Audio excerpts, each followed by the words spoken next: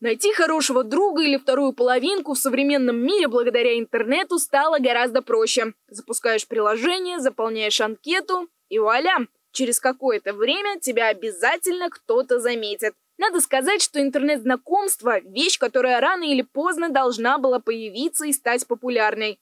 Люди всегда искали людей. До появления интернета они, к примеру, писали объявления в газеты, на радио или отправляли письма на случайный адрес.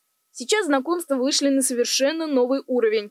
Нынешнее поколение идет на онлайн-платформы не столько для того, чтобы обрести родственную душу, сколько для того, чтобы разбавить серые будни и организовать себе незабываемые приключения. Причем желание испытать испанский стыд возникает у пользователей сезонно. Каждые три месяца у меня появляется ощущение, что мне так грустно, одиноко, так хочется тепла и ласки. Захожу на Тиндер, но каждый раз я попадаю в одну и ту же передрягу. Это кринжовые свидания, где мне попадаются очень странные экземпляры мужчин, которые говорят о себе в третьем лице. В топ-приложения для онлайн-знакомств входят Мамба, Тиндер и бот Леонардо да Винчик. И хотя спрос на них с каждым днем растет, накануне стало известно, что американская компания Match Group вместе со своим приложением Tinder покидает российских пользователей. Стоит отметить, что сервис на протяжении долгих лет лидировал в различных рейтингах. Так, в 2021 году он обогнал другие приложения по показателю уровня расходов пользователей – Теперь, когда Тиндер объявил о своем уходе, кажется, пришло время искать альтернативы, переходить на другие сервисы или, к примеру, знакомиться с людьми вживую.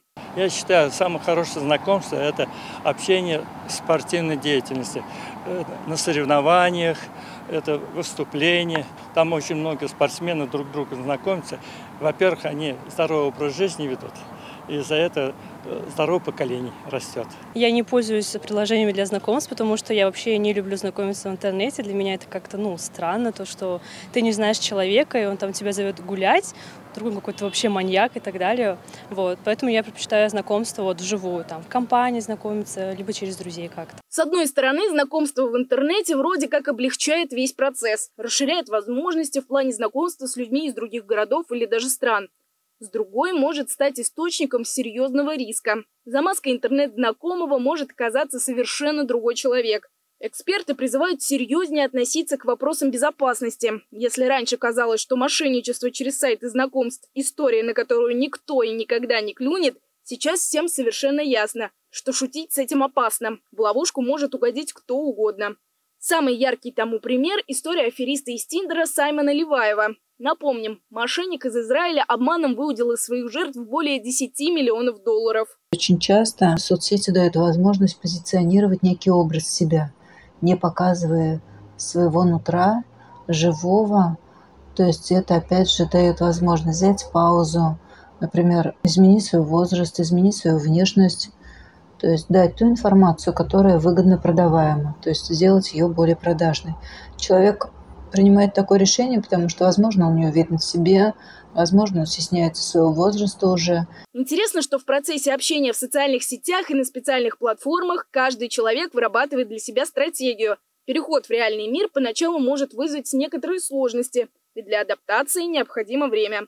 Поэтому наша команда отобрала лучшие рекомендации по знакомству вживую. Скажу так, чем более странный будет первый вопрос какой-то, тем больше шансов зацепить человека. Войти в его зону комфорта, разрушить все границы и там, например, потрогать его бровь. Какую-нибудь хорошую помощь оказать. Короче, когда вы ходите на физру, там рядом есть и женская раздевалка. Он придумал такую вещь. Там рядом есть стол, ну, как это, столы, где играют пинг-понг. Вы берете этот белый мячик и как бы невзначай кидаете прямо в женскую раздевалку. И потом, ой, простите, мой мячик туда закатился, сам закатываешься в раздевалку, а потом сам, ну, он не рассказывал подробностей, что там происходило дальше. Но я больше этого друга, конечно, не видел. Искать любовь в интернете или в реальной жизни – выбор, который каждому необходимо сделать самостоятельно. Конечно, как и в любом жизненном явлении, тут не обойдется без взлетов и падений. Ну а как иначе? Заветный матч – награда, которую найдет лишь тот, кто не сдается. Маргарита Михайлова, Александр Кузнецов, Универ News. Thank you